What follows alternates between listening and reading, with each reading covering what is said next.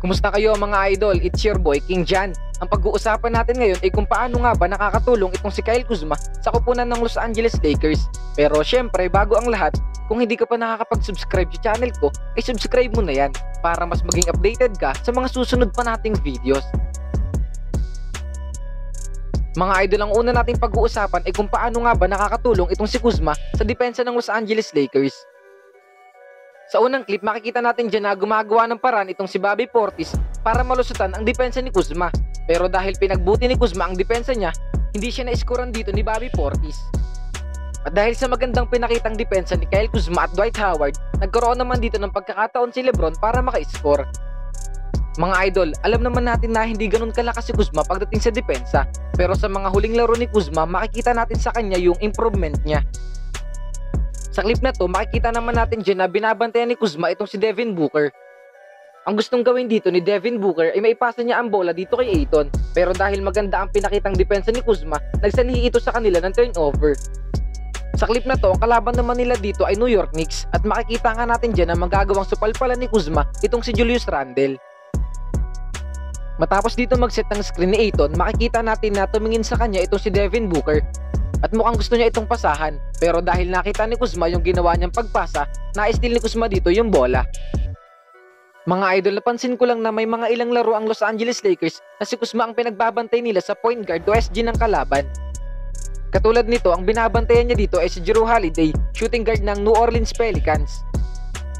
Ito pa yung isang example mga idol, ang binabantayan niya dito ay shooting guard ng OKC na si Shea Gilgus Alexander Makikita naman natin dito na magsiset ng sunscreen itong si Kevin Love. Kaya naman ang mangyayari dito si Kuzma na ang babantay kay Colin Sexton. Ang akala niya dito ay makakakuha na siya ng easy layup pero hindi niya alam nasa likuran niya pa rin itong si Kuzma. Sa clip na to makikita naman natin na malilibre ang center ng Los Angeles Clippers na si Harrell. Pero dahil nakita siya dito ni Kuzma, mabilis naman si Kuzmang nakapwesto sa restricted area at dahil dyan natawagan si Harrell ng offensive foul. Makikita nyo dito na gumagawa ng paraan ito si DiVincenzo para malusutan ang depensa ni Kuzma. Pero dahil mas matangkad si Kuzma kaysa sa kanya, hindi siya dito makakascore. Sa play na to, gagamit sana ang Clippers ng pick and roll. Pero dahil na-steal ni Kuzma ang pasa ni Shamet, hindi na matutuloy ang gagawin nilang play. Mga idol, kung maalala nyo, matagal na naghahanap ang Los Angeles Lakers ng wing defender. Pero para sa akin, kapag ka nag-improve itong si Kuzma sa depensa, hindi na nila kailangan pang maghanap. Para sa akin, kailangan na lang ni Kuzma na mag-workout para mas bumilis at mapalakas pa yung pangangatawan niya. At sa tingin ko kapag ka nagawa niya na yan, kaya niya nabantayan ang mga player na katulad ni Yanis, Paul George at Kawhi Leonard. Mga idol, bihira lang kasi sa NBA yung mga two-way players. Pero ang tanong, ano nga ba ang ibig sabihin ng two-way player? Ang two-way player mga idol ay maaasahan sa offense at ganun na rin sa depensa. At ang pinaka-perfectong example nga nito ay si Kawhi Leonard. Mga idol, ano sa tingin nyo, makayanan kaya ni Kuzmang maging isang two-way player sa NBA? Mag-comment ka lang sa ibaba ng sarili mong opinion. Tapos na natin pag-usapan ang depensa ni Kyle Kuzma. Ngayon naman ang pag-uusapan natin ay kung paano nga ba siya nakakatulong sa opensa ng Los Angeles Lakers. Mga idol, last season maganda ang pinapakita ni Kuzma pagdating sa opensa. Sa katunayan nga niya, nag-average siya dito ng 18.7 points per game at dahil maganda yung ipinakita niyang laro last season, hindi naman siya isinama ng Los Angeles Lakers sa trade package para kay Anthony Davis. Ngayong season, bumaba naman ang points per game ni Kuzma. Kung dati ay nag-average siya ng 18.7, ngayon naman ay nag-average na lang siya dito ng 12.5 points per game. Pag-usapan na rin natin dito kung bakit nga ba humina si Kuzma pagdating sa scoring. Mga idol, yung pinakaunang dahilan na nakikita ko dito kung bakit bumagsak ang stats ni Kuzma ay dahil sa binibigay sa kanyang playing time. Noong nakaraang season, si Kuzma ay nag-average ng 33.1 minutes per game. Pero ngayon mga idol, bumaba nga to sa 24.6 minutes per game. Yan yung nakita kong isa sa dahilan kung bakit nga ba bumaba ang points per game ni Kuzma ngayong taon. Yung isa pang dahilan na sa tingin ko ay talagang nakaapekto sa laro ni Kuzma ay yung pagpasok ni Anthony Davis sa Los Angeles Lakers. Paano nga ba nakaapekto si Davis sa laro ni Kuzma? Simple lang mga idol kung mapapansin nyo pareho silang power forward position. Pero ang pinagkaiba nga lang nila si Davis ay isang all-star, samantalang si Kuzma naman ay pangatlong taon niya pa lang sa NBA. At dahil dyan, mas nakafocus ang Los Angeles Lakers sa offense ang kayang ibigay ni Anthony Davis. Pero umaasa pa rin naman sila sa opensa ni Kuzma. Sa katunayan nga niyan, ginawa nila si Kyle Kuzma bilang isang third scoring option ngayong taon. Mga idol para sa akin, nag adjust pa talaga itong si Kuzma sa panibagong role niya dito sa Los Angeles Lakers. Pero wala naman tayo dapat ikabahala dyan kasi nga sila pa rin naman ang number 1 team sa Western Conference. Mga idol, ipapakita ko naman sa inyo kung bakit hindi nagawang bitawan ng Los Angeles Lakers itong si Kuzma. Para sa akin, ang isa sa dahilan kung bakit hindi nila binitawan itong si Kuzma ay dahil sa chemistry nilang nabuo ni Lebron James. Mga idol, habang nagdadala dito ng bola si Lebron, makikita niya si Kuzma nakakat papunta sa loob ng paint. At dahil nakita niya nga ito, mabilis niya pinasa ang bola. Sa clip na to, makikita natin na mag-set ng isang screen itong si KCP dito kay Lebron. At dahil dyan, nagawa nilang basagin yung depensa ng kalaban. At kung mapapansin nyo dyan, open na si Kuzma, kaya naman mabilis ni Lebron ipinasa sa kanya ang bola. Mga idol, ang isa pa sa napansin ko sa laro ni Kuzma ay magaling din siyang humanap ng pwesto.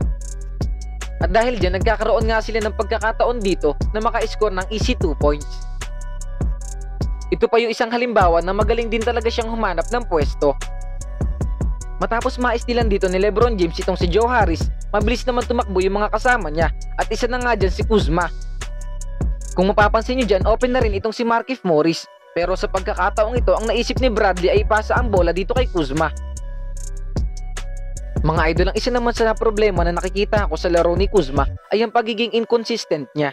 Pero sa tingin ko kapag ka naging consistent na itong si Kuzma, masasabi natin na siya talaga ang bagay na maging third scoring option ng Los Angeles Lakers. Mga idol, si Kyle Kuzma ay isang catch and shoot na player at dahil dyan masasabi natin na bagay talaga siya sa koponan ng Los Angeles Lakers. Bukod nga pala sa points per game ni Kuzma, bumaba rin yung kanyang 3 point percentage ngayong taon. Sa katunayan nga niya, nag-average na lang si Kuzma ngayong taon ng 29.7% pagdating sa 3 points. At ito nga yung pinakamababa niya sa loob ng tatlong taon niyang paglalaro sa NBA. Mga idol, ipapanood ko naman sa inyo kung paano nga ba binibigyan ng play ng Los Angeles Lakers itong si Kuzma para makatira siya ng 3 points. Sa clip na to, makikita natin dyan na si Kuzma muna ang may hawak ng bola at pinasa niya nga ito kay Rondo. Tapos si Rondo naman matapos niya basagin ang depensa ng kalaban, mabilis niya binalik ang bola dito kay Kuzma. Sa play na to, matapos ang screen ni Dwight Howard at Kuzma, magkakaroon naman ng pagkakataon dito si Alex Caruso para ipasa ang bola dito kay Kuzma. At dahil wide open nga si Kuzma, na ipasok naman niya ang 3 points na ito. Mga idol, ito pa isang halimbawa na catch and shoot na player talaga itong si Kyle Kuzma. Makikita natin dyan na matapos siyang pasahan ni Avery Bradley, mabilis naman niya ditong itinira ang bola. Mga idol ang pagiging catch and shoot na player ni Kuzma ang isa pa sa dahilan kung bakit bagay talaga siyang kasama ni Lebron James. Sa play na to, makikita natin na sasalaksak itong si Lebron para basagin yung depensa ng kalaban at dahil nakita niya ng open si Kuzma, mabilis niya pinasa dito ang bola. Makikita nyo naman dito na nakatingin na kaagad itong si Lebron dito kay Kuzma pero ang gagawin niya dyan, hihintayin niya munang makapwesto si Kuzma bago niya ito pasahan. Dito naman, ganun lang ulit yung play na gagawin ni Lebron. Matapos niyang kunin yung attention ng mga kalaban nila, hahanapin naman niya ang open na kasama niya para makatira ng 3 points. Sa clip na to, makikita naman natin na kinukuha ni Lebron yung attention ni Williamson. At dahil nagtangka nga dyan si Williamson na sundutan itong si Lebron, magiging open naman na si Kuzma para makatira ng 3 points. Mga idol, sa totoo lang, hindi lang naman si Kuzma ang ginagawa ng ganitong klase ng play ng Los Angeles Lakers. Kasama na rin dyan si KCP, Anthony Davis, Avery Bradley at marami pang iba sa kanila na tumitira ng 3 points. Mga idol, sana lang bago dumating yung playoffs ay mag-improve pa ang 3 point shooting ni Kuzma. Para sa darating na playoffs, mapakinabangan o magamit nila ang ganitong klase ng play. Ano sa tingin nyo, maging susi kaya ng Los Angeles Lakers itong si Kuzma sa darating na playoffs? Mag-comment ka lang sa ibaba ng sarili mong opinion. Pero syempre, bago ko tuloy ang tapusin ang video na to, nais ko lang i-shoutout ang mga sumusunod. Shoutout kay Ryan Inson, Ronald Avila, Ivan Roa, Alexander Robert, Jimboy Escote, Brando Sibayan, Jovit Guadalupe, Badrudin Anayatin, Gerald TV. Shoutout din kay Nelson Aranwes, Nur Habib Mino at saka kay Muhammad Bayaubaw. Shoutout din kay Jason Bulahan, Maron Takapan, Jo Marie Akay, Jan Oladibe, Luz Kim from South Korea, Richard Kuray, Joshua Ferrer, Mark Anthony Vaniegas, Leo YouTube at saka kay Jeron Salasa. Maraming salamat sa suporta mga idol. It's your boy King Jan. I'm out.